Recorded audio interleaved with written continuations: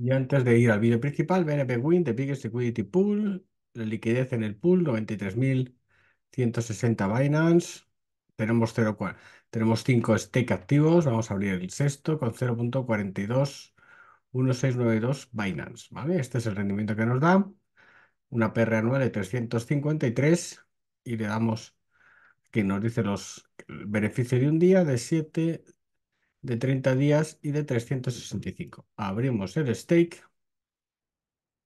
Perfecto. Ya tenemos 6 stake activos. Y vamos al vídeo principal. Hola a todos y bienvenidos a Educación Financiera, análisis técnico y criptomonedas al alcance de todos. Bien, eh, nos habéis preguntado hoy algo que ha dado pie pues, a que podamos hacer este vídeo dedicado a las a cómo tomar posiciones en una criptomoneda, ¿vale? Entonces, eh, la pregunta era básicamente decir, siendo la criptomoneda STEM, que tenemos aquí el gráfico, una buena idea, un buen proyecto, y la verdad es que lo es, y en el cual pues el, el mail, el comentario explica el proyecto, que es que paga por subir información y por leerla, tú vas pagando por los contenidos, tanto que lees como y también recibes dinero por los contenidos que eh, digamos que tú proporcionas. entonces todos salen beneficiados. ¿Por qué está cayendo? Entonces, el trasfondo de esto es que no se corresponde o uno no piensa o no cree que la cotización refleje el valor real de la criptomoneda o el valor real del proyecto, ¿vale? Esto ya lo hemos contado en algún vídeo y, vamos a aprovechar este para repetirlo. Hay que distinguir siempre el fondo, que es el proyecto en sí, que es STEM, que es Ripple, que es Agoras, que es Bitcoin, que es Ethereum, que es Breakout, de la forma, que es el gráfico de cotización, que al final es por lo que todos nos estáis preguntando. ¿Va a subir? ¿Va a bajar? ¿Qué va a hacer? ¿Vale? Primero decir que nadie es adivino. Nosotros. Somos adivinos, ni vosotros, ni siquiera los propios creadores del proyecto son adivinos. Ya les gustaría a ellos tener claro que el proyecto va a ser fantástico. Lo que sí que tenemos, y es eh, a partir de la herramienta del análisis técnico y los gráficos, alguna serie de pautas para tomar posiciones en criptomonedas. Entonces, a, al que nos preguntó, le dijimos, oye, es muy importante que tengas claro cómo tomar posiciones, ¿vale? Entonces, de momento lo que tenemos aquí en STEM, independientemente de la capitalización que tiene, y que vemos que tiene una capitalización aproximada de 175 millones de dólares, no sabemos si es alta, si es baja, si es buena o si es mala, eso no lo sabemos, pero hoy está cayendo un 11,97%. En este sentido lo que haríamos será pues aprovechar todas las herramientas que tenemos a nuestro alcance. De momento perdió el, soporte de los 320.000 satoshis y va camino ahora mismo por los 266.000 con lo cual a la pérdida de un soporte uno cierra posiciones que tiene alcistas ¿vale? una estrategia de trading es tomar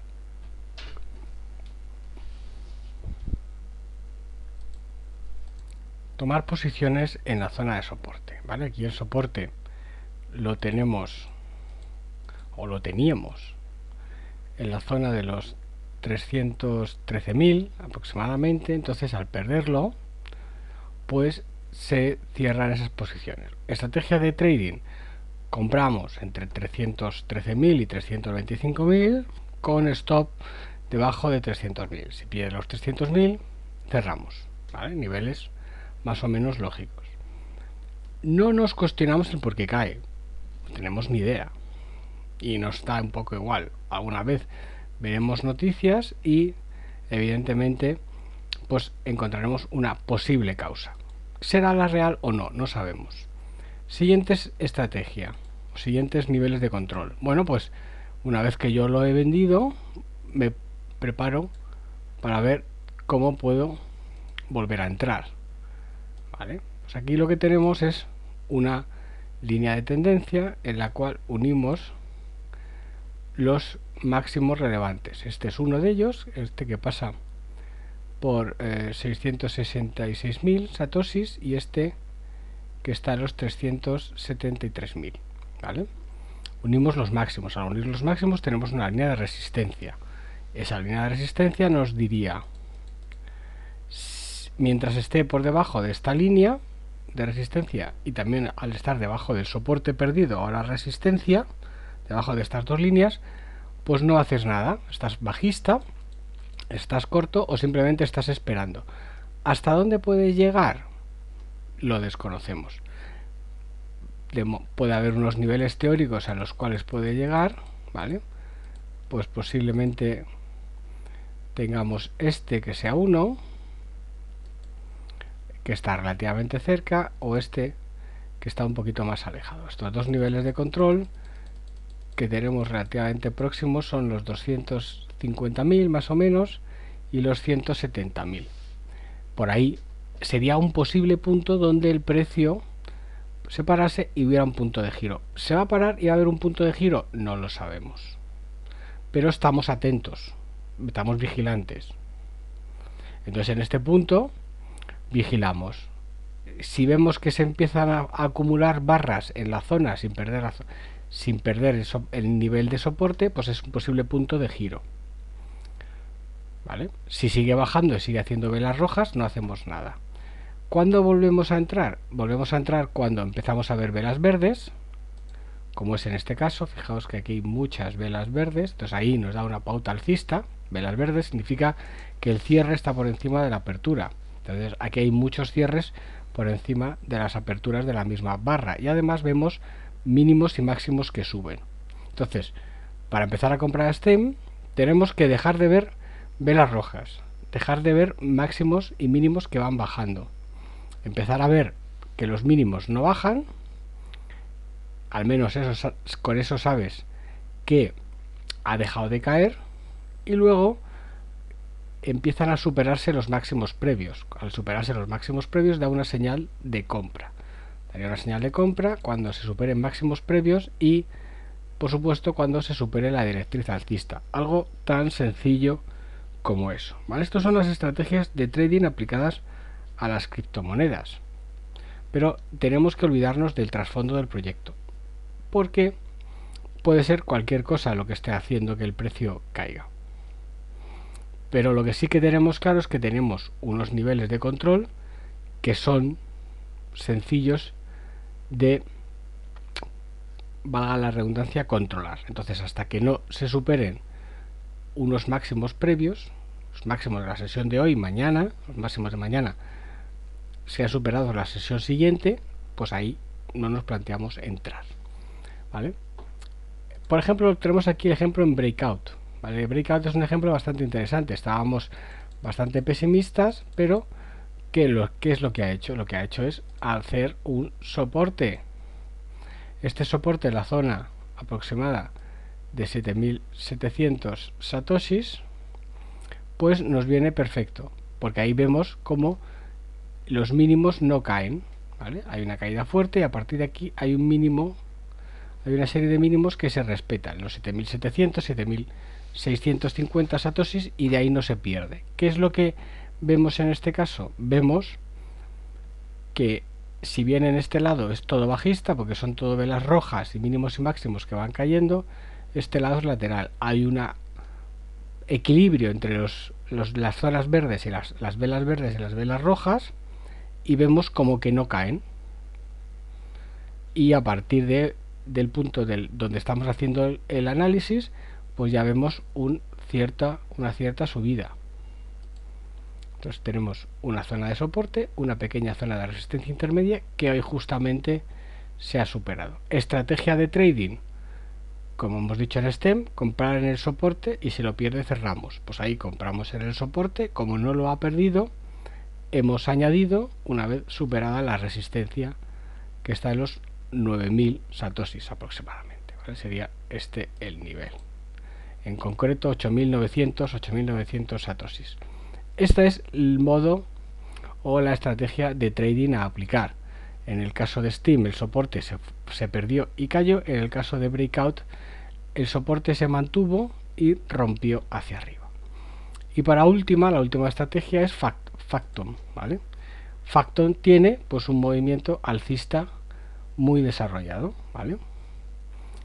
Lo, la Steam todavía es bajista, Breakout ha empezado a girar desde la zona de mínimos y Facton tiene un ejemplo de tendencia alcista, ¿vale? ¿Por qué?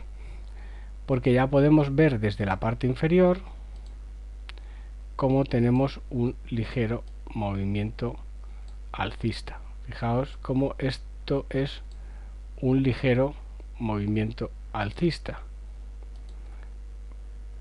En este sentido, pues no está muy claro, pero o sea, no es como no es una subida muy fuerte, al menos inicialmente, pero ya vemos cómo las estructuras de mínimos y máximos tienden a subir ligeramente. ¿Hasta dónde? Hasta esta ruptura fuerte, ¿vale? Entonces, en esta ruptura fuerte de este máximo, al, superar los 295.000 satosis, ha roto muy fuerte y nosotros al superar resistencia, ya como hemos visto en el vídeo antes de breakout, pues compramos. ¿Por qué? Porque supera resistencia.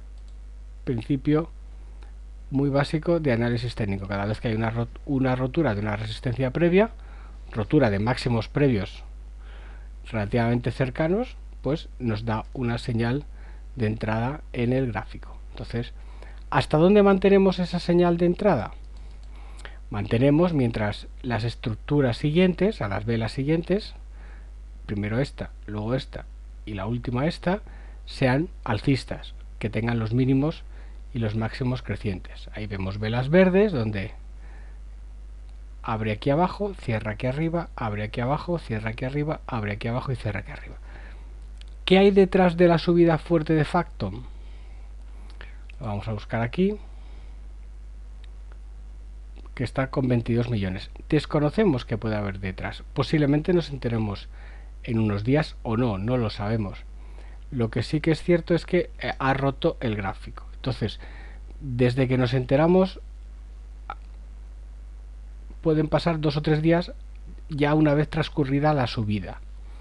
Entonces, la noticia, o al menos la noticia que nos llega a nosotros, va muy por detrás, o sea, la que nos llega a nosotros va muy por detrás de la subida del precio. Entonces, nos aporta valor porque nos ayuda a conocer las cosas, pero a nivel de trading nos ayuda bien poco. Incluso nos puede llegar a confundir pensando de que una vez que sea la noticia el, precio o el, valor de la criptomoneda tiene que subir. Eso no tiene por qué. Muchas veces es la noticia al final llega al final del movimiento.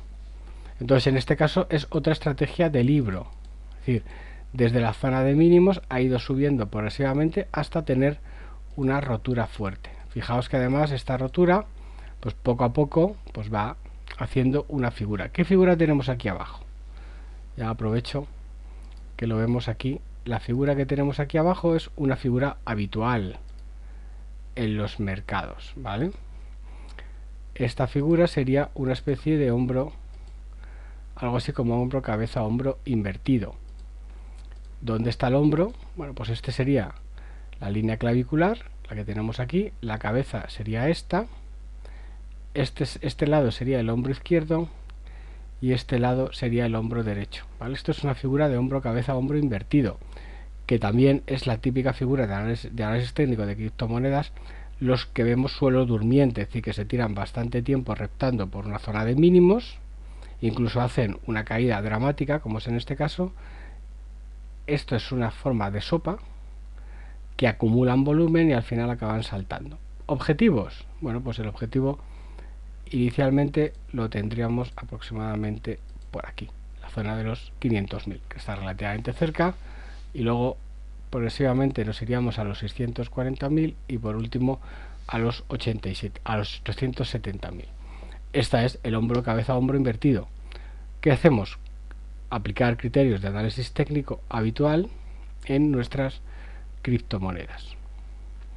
Y hasta aquí este primer vídeo dedicado a las Toma de posiciones en una criptomoneda, estrategias de trading basadas en análisis técnico. Un abrazo y hasta siempre.